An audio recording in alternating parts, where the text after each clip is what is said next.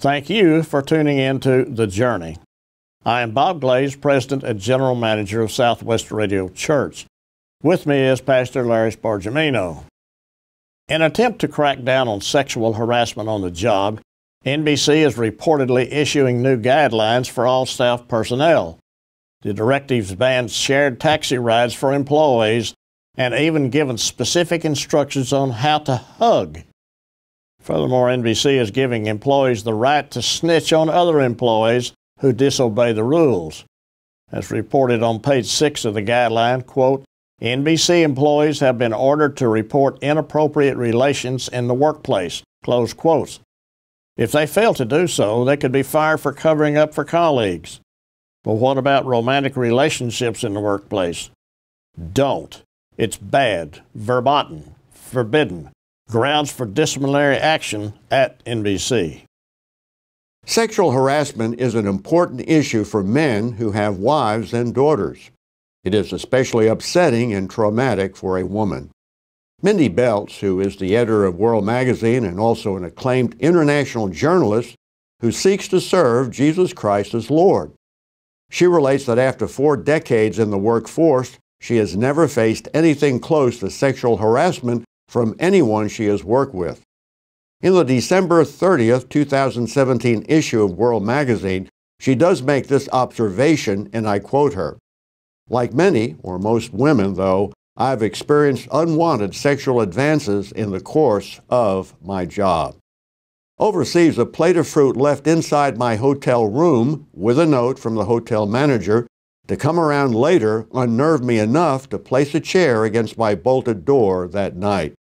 A cab driver in Istanbul attempted to kiss me on the lips before I fled his car, and a driver in Damascus turned off the main road, wanting to take me to his home just for tea, he explained, when I shouted at him. Close quotes.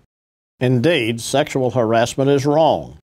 Yet it should not be all that surprising in a culture that has waged war on biblical values. Our culture has met the enemy, and our culture is the enemy. Everything is being done to discredit the Christian life and biblical morality. Women are being sexualized. Should we be surprised when there is a flurry of unwanted sexual advances? The Bible tells us that after Adam and Eve rebelled against God's command, they suddenly knew that they were naked and covered up with fig leaves. They now had a sense of shame. There was a God given wall of modesty that had been erected in their hearts. They knew that there was something about the human body that made public nudity a bad idea. NBC needs to promote a culture of honor, respect, and modesty rather than a culture of temptation and domination. NBC and other TV and movie outlets needs to realize that the sexualization of society is in large part their fault. The sexual harassment lawsuits that are coming like bullets out of a machine gun are largely payback for their folly.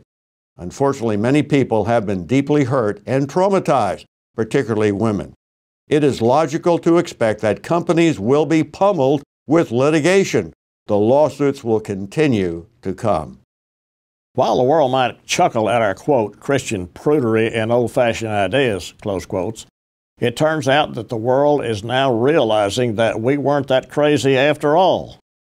The allegations against NBC's Matt Lauer do not stand alone. Others either enable Lauer to commit his alleged offenses over a period of years or simply looked the other way.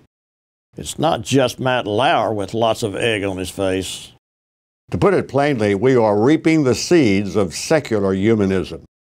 We as a culture have thrown the Bible out of public life, and we're trying to throw it out of private life too. Especially in the area of sexual morality, the culture's motto is if you can think of it, it's okay. We are reinventing polygamy, stretching the definition of marriage to include a union of just about anything, and have lowered the age of consent in some countries to 12 years of age. When the show Louie featured the character of Ellen Farber, a Christian virgin, it was all for laughs. And that's just what audiences did. Under former President Barack Obama, American women of all ages gained a universal right to contraceptives when insurance coverage for birth control became mandatory and parental consent protections for girls 12 and older disappeared. The Supreme Court legalized same sex marriage nationwide in 2015. Should we be surprised that we have a problem with sexual harassment? All of this brings us to the difficult issue of modesty. A good rule of thumb when in doubt about a neckline or hemline, go for the more conservative look. Why should both men and women play with fire and see how close they can get before they get burned? To be sure, they will be burned. And what about public nudity? Some people think it's cute, but the Bible frowns upon it. In 1 Corinthians 12:23, the apostle Paul writes that our unrepresentable parts need to be treated with greater modesty. Exodus 20:26 warns that worshippers shall not go up steps to the Lord's altar, quote, that thy nakedness be not discovered thereon, close quotes. Many pagan cultures throughout history, however, considered public nudity normative, especially Spartan, Greek, and Roman societies. In more recent years, public nudity has become more and more acceptable. Many groups are now promoting a back to nature philosophy. Nudists, that are sometimes called naturists, form clubs and frequent clothing free beaches. Then there is the problem of near nudity.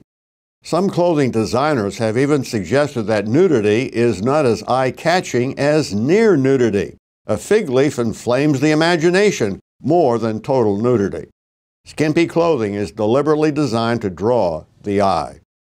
Go to the malls of America, especially in the spring and summer, and just look at the clothing that is being offered. Once again, the question begs to be answered should we be surprised at sexual harassment? Men making lewd and racy remarks to women? Groping? Who would ever think of such a thing? Dr. Michael Brown, social commentator and messianic believer, asked a good question, and I quote him Isn't it hypocritical for a woman to represent herself as a sexual object clearly, intentionally, and unambiguously if she doesn't want to be seen as a sexual object? Are they not trying to put out fires with one hand while starting new fires with the other hand? Close quotes. To be sure, a woman wearing suggestive clothing does not warrant disrespect. Every woman, boy, girl, man, woman, is to be treated with respect and with dignity no matter what they wear or don't wear. However, modesty goes a long way in removing doubt as to a person's character and intention. So let's not be shocked at sexual harassment. Hugh Hefner, Mr. Playboy, died on September the 22nd. What did we see and hear? Celebrities heaping praise on Hugh Hefner, from Larry King to Norman Lear, and from Jenny McCarthy to Kim Kardashian. So you must wonder how can a society that condemns Harvey Weinstein heap praise on Hugh Hefner? Why praise Hefner, who did more to sexualize women with his Playboy bunny photos and at the same time raise strident voices and lawsuits over sexual harassment. Are we missing something here? Is there something that just doesn't compute? Meghan Murphy tweeted, quote, the amount of people tweeting a porn mogul as some kind of a civil rights leader who supposedly empowered women is going to make me barf, close quotes. Bill Nye is supposed to be Mr. Science. Kids look to him as a role model and also for information. Well, what kind of information are they getting? Lots of pseudoscience and raunchy ideas. Some of the scenes, acts, and dialogue of episode 9 of Bill Nye Saves the World, which is supposed to treat the truth about human sexuality, features Rachel Bloom. Noted for her improvisational comedy, black comedy, and blue comedy, Bloom's songs and titles are so disgusting and her bodily gyrations done in such bad taste that we can't and don't want to give direct reference to them. The series Bill Nye Saves the World presents material that is a shot across the bow to those who stand for solid Christian values. We are being desensitized. There is coarseness in our culture. It is a root issue. Only a return to biblical morality will help. Threats and lawsuits may drive it underground, but the problem will still remain. God instituted certain boundaries and certain standards. The biblical position is that if you remove, alter, or modify these boundaries, you do so at your own peril. Sexual harassment is the boomerang effect of rebellion against God. We are shooting ourselves in the foot. Liberation that violates divine principle is not liberation. It always produces bondage. The paganization of a society is becoming more evident and producing a rise of sexual assaults on women. Two years ago, Berlin's iconic Brandenburg Gate and other cities in Germany, such as Cologne, witnessed horrific sexual assaults against women by Muslim immigrants. German authorities believe that more than 1,200 women were sexually assaulted across Germany on New Year's Eve 2015 and that more than 2,000 men were involved. In July of 2016, German lawmakers passed a bill that will make it easier for victims of sex crimes to file criminal complaints if they can prove they rejected their attacker's advances with a clear no. Women's rights groups in Germany have complained that German law sides with the attacker. Women have to show that they physically resisted attack before charges for rape and other sexual assaults can be brought. German Chancellor Angela Merkel lamented her country's social divisions in a recent New Year's address. Her left wing, open borders, welcome asylum seekers policies has now turned many Germans against her. The most contentious issue has been an influx of asylum seekers that has caused many conservatives to question her leadership. Right minded people in California, USA, need to use Germany's woes as proof that Governor Jerry Brown's hearty welcome of felons, illegals, and MS 13 gang members is a bad idea. A sound marriage and a godly home is a key ingredient to a stable society.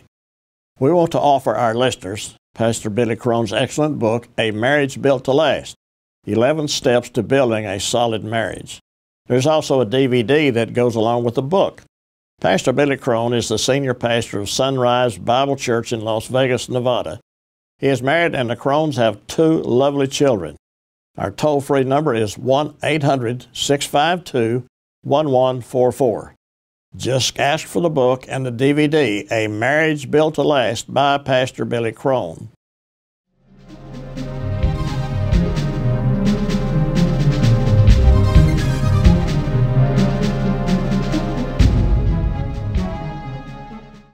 The world of robots has been expanding dramatically. Not too long ago, robots were dreams in the minds of science fiction writers. Now, however, there are many versions of bots killer bots, spy bots, rolling bots, and sex bots. How about a killer robot programmed with artificial intelligence, or AI? Will we see the death of mercy, compassion, and conscience? Ray Kurzweil, a well known futurist, believes that artificial intelligence is uncontrollable by humans. He warned that killer robots with a conscience who can repair themselves and program themselves apart from human meddling could first enslave the human race and then exterminate the human species. He reminds us that we humans have many unfortunate, to use his words, traits. We are given to unpredictable emotional extremes, manifesting as depression and rage, confusion, selfishness, pride, arrogance, intellectual limitations, and blind spots. Expert opinion is still split on the possibility of AI developing consciousness, which some warned could be used by machines to rebel against humans and kill us. Others hold out the promise that we will evolve into higher forms and will learn to cope with the threat of AI.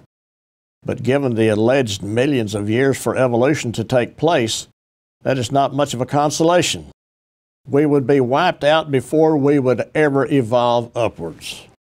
One British expert in artificial intelligence said, quote, If indeed machines become self aware, they will be cunning and they will bide their time and choose the best moment to take over and enslave, if not kill us. Close quotes. Subhash Kak, who is a professor of electrical and computer engineering at Oklahoma University, agrees that if robots developed a consciousness similar to ours, they would likely use human beings as slaves. Technology is producing more and more machines that can do what machines could never do.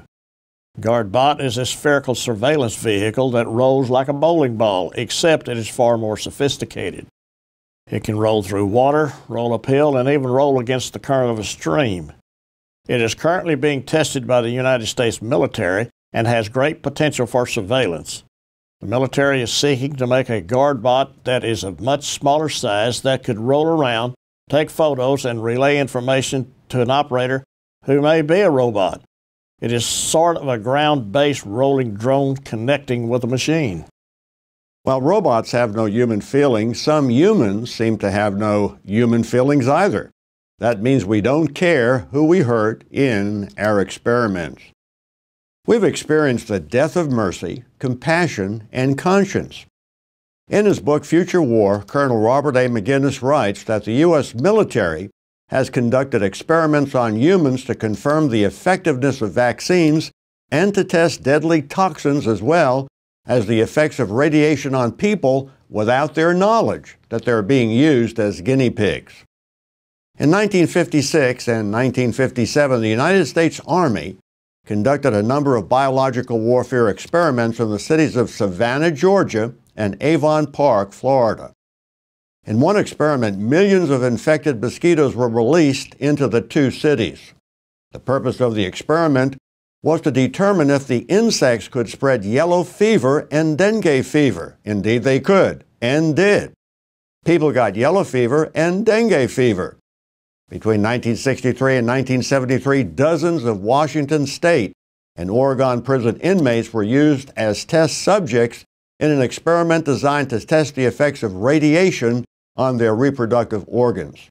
Bribed with cash and the suggestion of parole, 130 inmates willingly agreed to participate in the experiments conducted by the University of Washington in behalf of the U.S. government. In 2000, the former participants settled a $2.4 million class action settlement against the university. It's not just robots and machines with artificial intelligence that are heartless.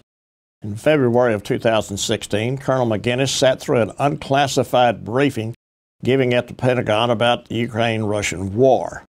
The Russians were using drug induced soldiers taken from prisons in Moscow's ongoing campaign in eastern Ukraine and has done so dozens of times.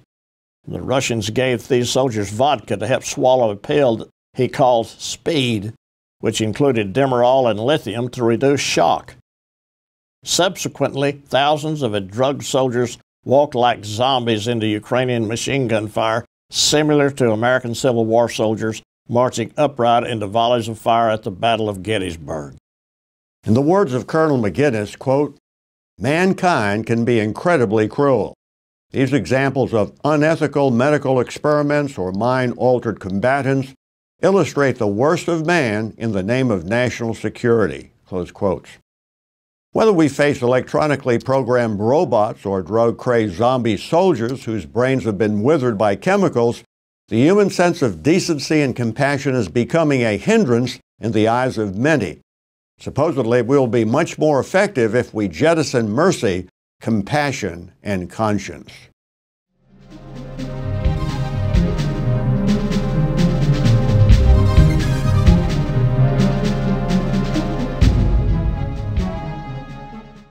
Area 51 is a United States Air Force facility located in southern Nevada, some 83 miles north northwest of Las Vegas.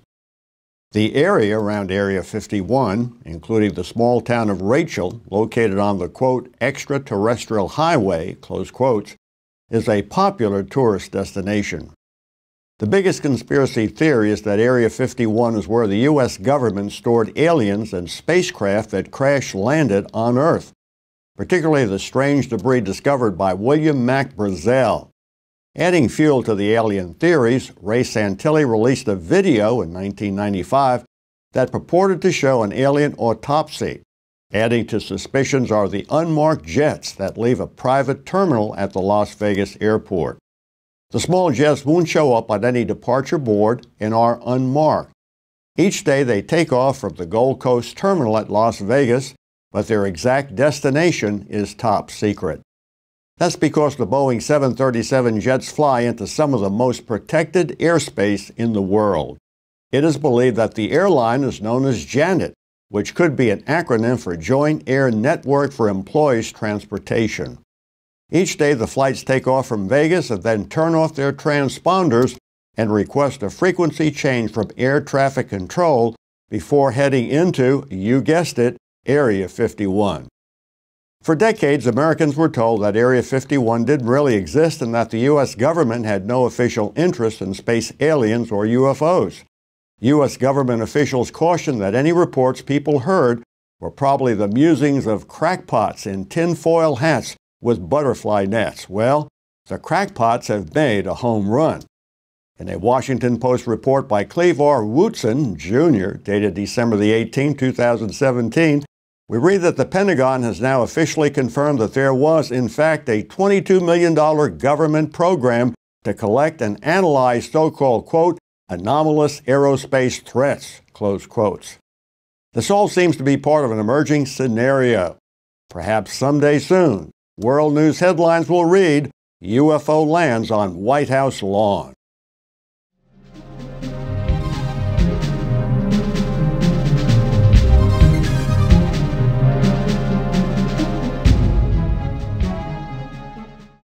Like many cities, Chicago has a number of problems that seem to defy solution.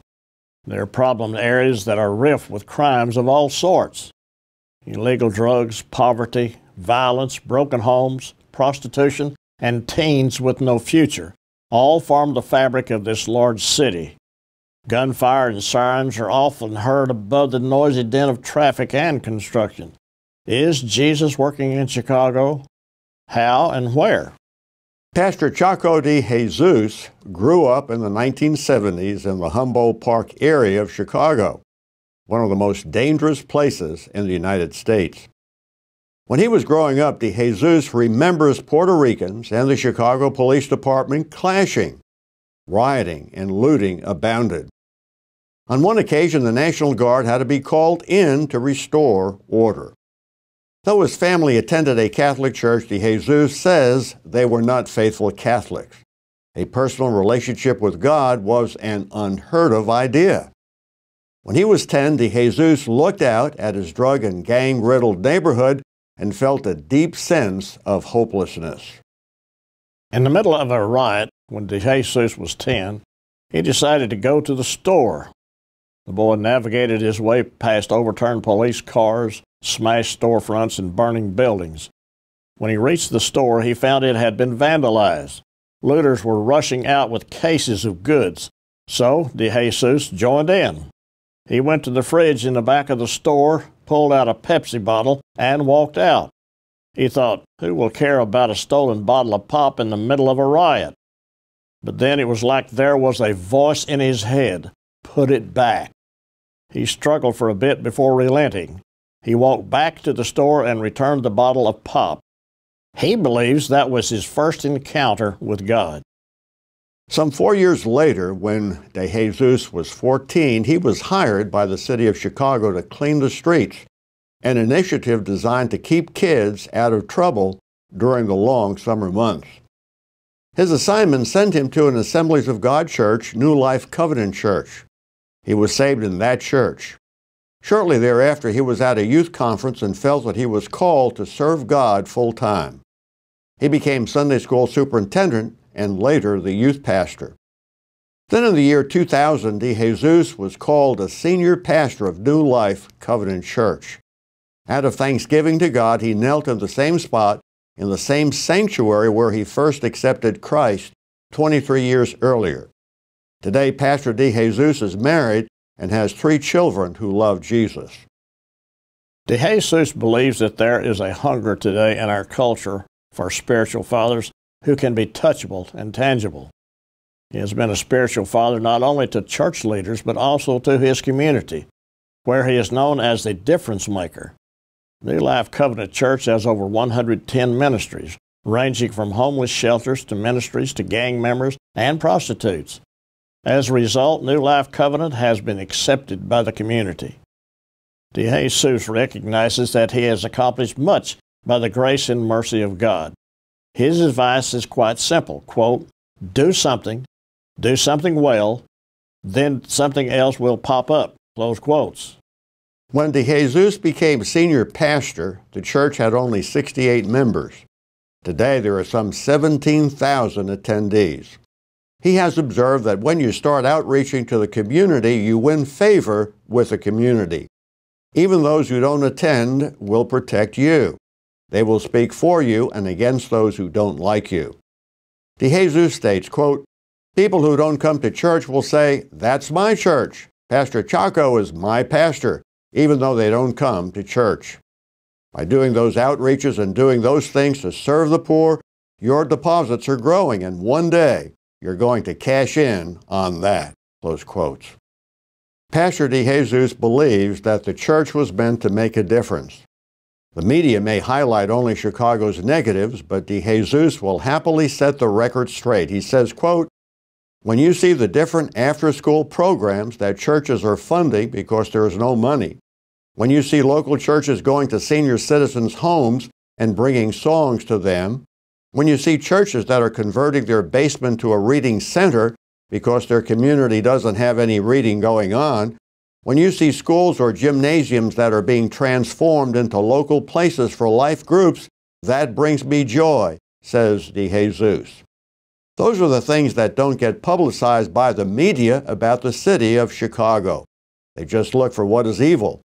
But across this city, there are really good people from different walks of faith who are doing a phenomenal job to address the issue of violence in our city, but also to make our city a safe place. I am thankful for that. Close quotes. Thank you so much for allowing us the privilege to be with you. We hope that you found the journey personally edifying and glorifying to God. We would love to be with you for our next telecast. Be sure to tune in and tell a friend about this ministry. Remember our special offer, Pastor Billy Crone's book and DVD, A Marriage Built to Last. Marriage, the home, and the family is under attack today. This is a book that will make marriage a more fulfilling experience. It will help you to achieve God's goal for your marriage. Our toll free number is 1 800 652 1144. One closing thought Psalm 135 tells us that idols, quote, have mouths, but they speak not. Eyes have they, but they see not. Close quotes. That is not at all true of our God. God is here, and He is not silent. Allow Him into your heart and life.